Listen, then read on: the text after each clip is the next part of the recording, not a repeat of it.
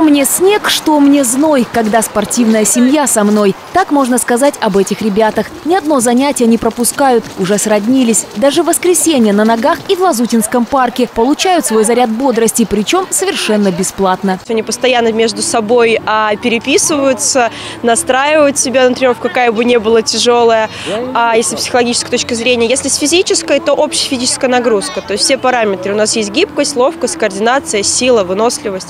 Ну и плюс, если зависимость погоды, это закаливание организма.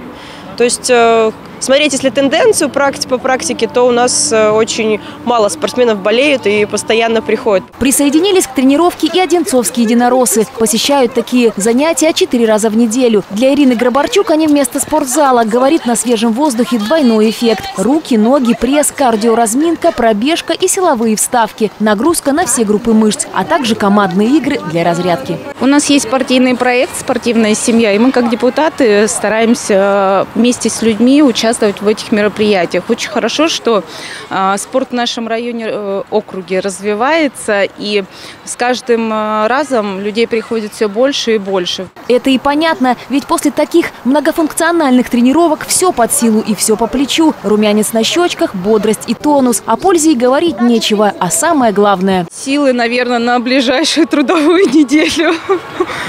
Еще раз придете? Конечно. И, друг, и друзей еще позову. Ну, в следующие выходные, это точно. Значит, Одинцовская спортивная семья станет еще больше, а здоровый образ жизни в округе еще популярнее. Влада Шишова, Станислав Трифонов, телекомпания «Одинцова».